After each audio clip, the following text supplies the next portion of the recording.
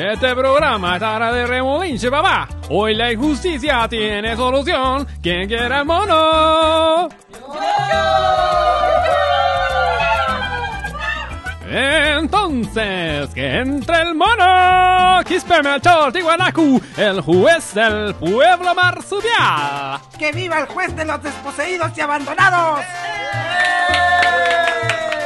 Gracias, gracias.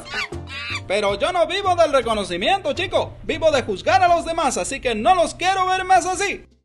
Hoy el juez tendrá que enfrentar el juicio más importante de la historia nacional. Los jueces de la Corte Suprema se mueren de envidia. Cállese, locutor. Este es un juicio más independiente de los involucrados. Haga su pega y cuéntenos el caso de hoy. Y yo no voy a hablar más.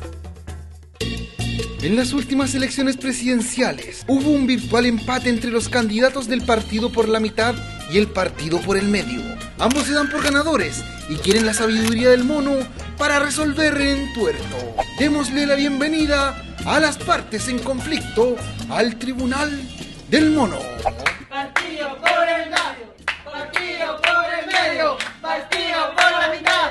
A ver, a ver, ¿quién es el quejón? Mire, mire, mire, lo que pasa, señor juez, es que me parece increíble que las fuerzas vivas de la nación hayan votado por este pelafustán en vez de mí.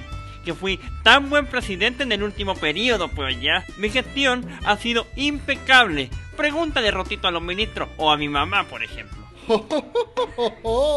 Eso es mentira, señor juez. Yo tengo la mayoría de los votos y es por el profundo rechazo popular que si te encuentras fulano, que se dice el mejor presidente del mundo. Una nueva era ha empezado en nuestro país y eso es porque yo soy el nuevo presidente. Gracias, gracias, muchas gracias.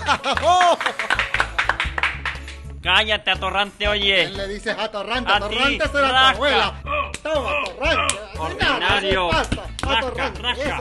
¿Pero qué significa esto? ¿Dos autoridades agarradas de las mechas? ¿Pero qué ejemplo se le da a la ciudadanía? Voy a dictar sentencia. Me parece que la situación está muy clara.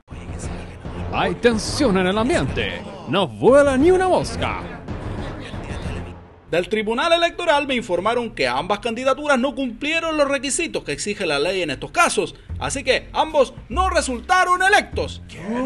Pero, Y por lo que veo, el tercer candidato, el que sacó el voto de su mamá y de su polola, es el vencedor. ¡Que pase el estrado! ¡Pepito, presidente! Gracias, gracias. Voy a hacer un excelente gobierno con ricos y pobres, altos y bajos, guatones y flacos. Gracias, gracias.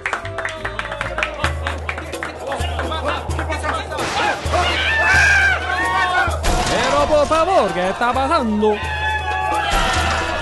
Un tremendo huracán tropical con terremoto incluido dejó la tremenda en el Tribunal del Mono. Lamentablemente, los tres candidatos no están en condiciones de asumir la presidencia. Oiga, señor juez, ¿y qué haremos ahora? Pues bien, lo único lógico en estos casos, yo seré el nuevo primer mandatario. Gracias, gracias, respetados electores. Caso juzgado, caso enchulado. Se pasó el juez, ahora el juez presidente. Nos vemos en el próximo Tribunal del Mono.